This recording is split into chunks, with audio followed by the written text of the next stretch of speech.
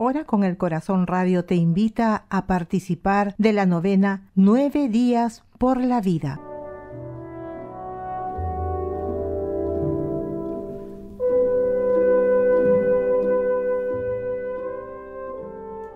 Nueve días por la vida es una novena de oración por la vida humana desde su concepción en el seno de la madre hasta su muerte natural.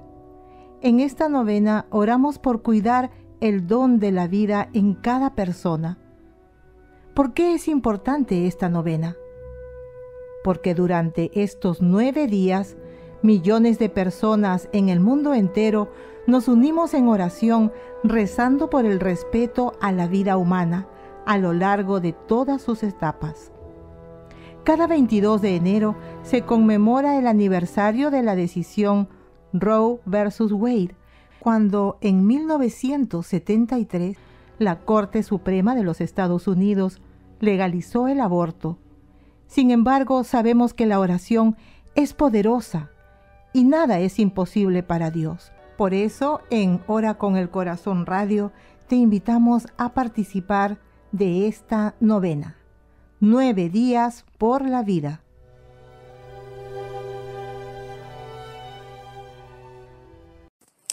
Novena, nueve días por la vida, cuarto día, 24 de enero.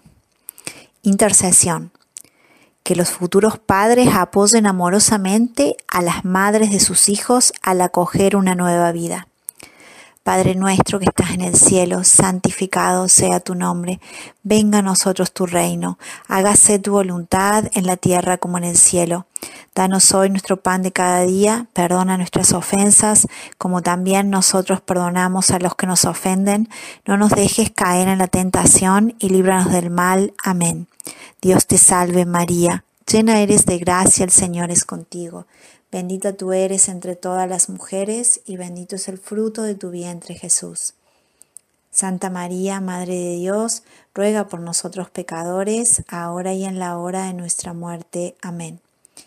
Dios te salve María, llena eres de gracia, el Señor es contigo. Bendita tú eres entre todas las mujeres y bendito es el fruto de su vientre Jesús.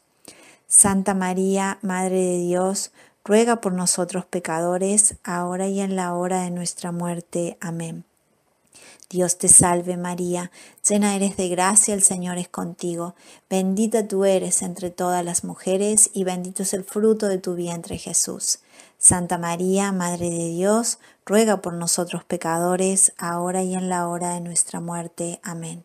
Gloria al Padre, al Hijo y al Espíritu Santo, como era en un principio, ahora y siempre, por los siglos de los siglos. Amén. Reflexión. La paternidad tiene su origen en Dios, quien eligió revelarse como Padre nuestro, enviando a su único Hijo por nuestra salvación. Por lo tanto, los padres tienen una función exclusiva y especial, revelando y reviviendo en la tierra la misma paternidad de Dios. Los padres están llamados a exhibir una generosa responsabilidad por la vida concebida junto al corazón de la madre. A ellos se le encomienda la protección y la defensa de la madre y del niño para que de esta manera proteger la santidad de la vida humana.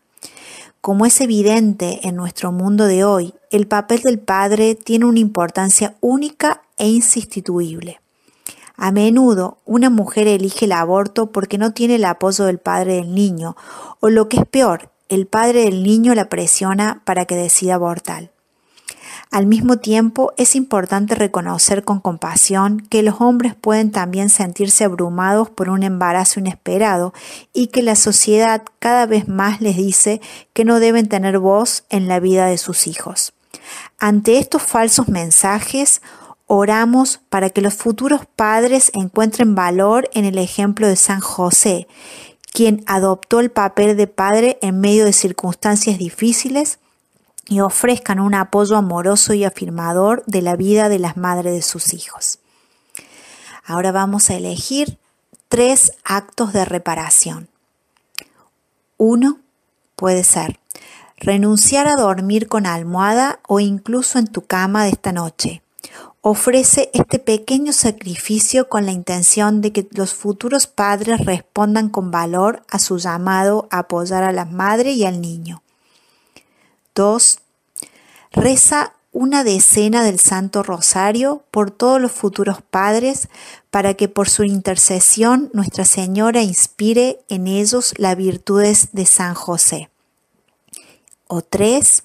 Ofrece algún otro sacrificio, oración o acto de penitencia que te sientas llamado a hacer con la intención de hoy.